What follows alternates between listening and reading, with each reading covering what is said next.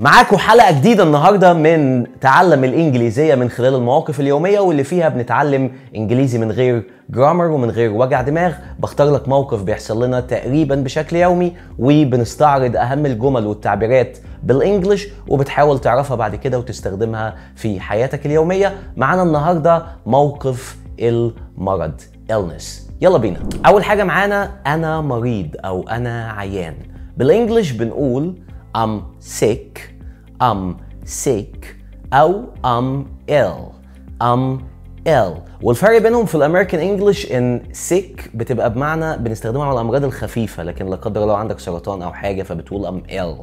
تمام؟ sick كمان ممكن يبقى معناها إن أنا عاوز أرجع. تمام؟ فسيك ليها أكتر من معنى. بنستخدمها مع الأمراض الخفيفة شوية يعني عندك برد عندك آه، مغص وإل بنستخدمها مع الأمراض التقيلة. أكتر. وسيك كمان معناها إن أنا عاوز أرجع. ده معنى تاني. أوكي؟ يبقى I'm sick و I'm ill. هديكوا بقى مصطلح حلو جدا ممكن تستخدمه برضو عشان تقول أنا تعبان أو أنا مريض بالإنجلش وهو I'm under the weather. I'm under the weather. تعبان أو مريض. I'm under the weather. ممكن كمان تقول I'm not feeling well. I'm not feeling well. يعني أنا مش حاسس إن أنا مش مظبوط إن أنا مش كويس. I'm not feeling well. عندنا كمان I feel out of sorts. I feel out of sorts. لما يبقى حد تعبان أو عيان وتحب تقول له أتمنى لك الشفاء العاجل ممكن تقول بالإنجلش get well soon get well soon. وممكن تقول له I wish you a speedy recovery. I wish you a speedy recovery.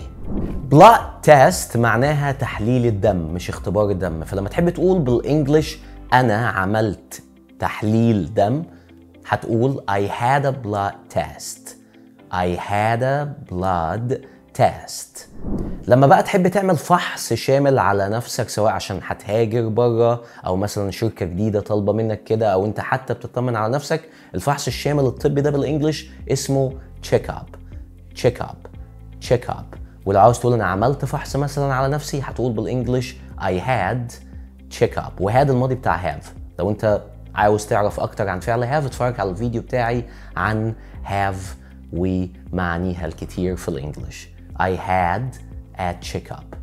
I had a check up شوية جمل بقى عشان نتكلم بيها عن أعراض الحاجة اللي أنت بتحسها أو المرض اللي عندك. أول حاجة معانا لما تحب تقول إن أنا دايخ بالإنجلش أو أنا عندي دوخة أو دوران بنقول I feel dizzy. I feel dizzy. I feel dizzy. لو عندك سخونية أو درجة حرارتك عالية بتقول بالإنجلش I've got a temperature. خد بالك إن have got قلت عليها قبل كده في الفيديو برضو بتاع have إنها بتساوي have. يبقى I've got or I have I have a temperature I have a temperature لو عندك برد ومناخيرك مقفولة مش عارف تشم منها مثلا فتقول بالانجلش I have a blocked nose I have a blocked nose لو مناخيرك بقى بترشح أو بتجيب آه، mucus كتير فبنقول بال English I have a runny nose I have a runny nose عندك احتقان في زورك؟ بنقول عليه بال English I have a sore throat. I have a sore throat. يعطس بال English I'm sneezing. I'm sneezing. يعطس اتشو تمام؟ I'm sneezing. يكح I'm coughing. I'm coughing. I'm coughing. عارف لما تبقى لسه واكل حاجة كبسة على صدرك كده؟ إحنا بنقول عندنا في المصري عندي حمو على صدري أو حاسس إن أنا صدري حامي وعاوز أشرب حاجة ساقعة. بالإنجلش اسمها I have heartburn. I have heartburn. I have heartburn.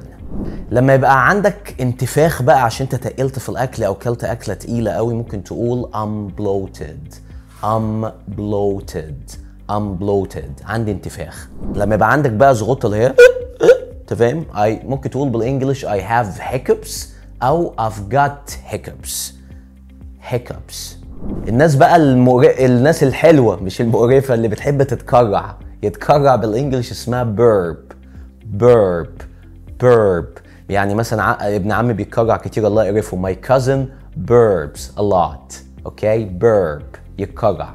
لو ضغطك عالي لا قدر الله بال English بنقول I have high pressure. ولو ضغطك واطي بتقول I have low pressure.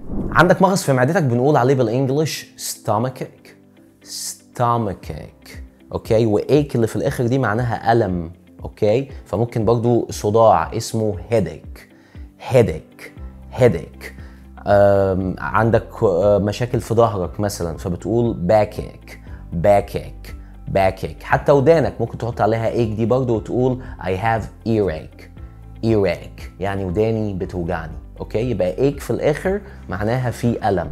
لو عندك بقى شد عضلي بال English بنقول I have a cramp. I have a cramp. مثال مثلا I have a cramp in my leg. الروشتة اللي الدكتور بيكتبها لك اسمها prescription prescription prescription. لما تحب تقول بالإنجلش إن أنت عندك حساسية من أكل معين مثلا أو من دواء معين بنقول بالإنجلش I'm allergic to. I'm allergic to وتجيب بقى الحاجة بعد to الحاجة اللي انت عندك حساسية منها. I'm allergic to. لو الفيديو عجبك please share and like ولو في حاجة أنا ما اتكلمتش عليها في الفيديو سيب تعليق وأكيد إن شاء الله هرد عليك. Thank you and wish you all the best.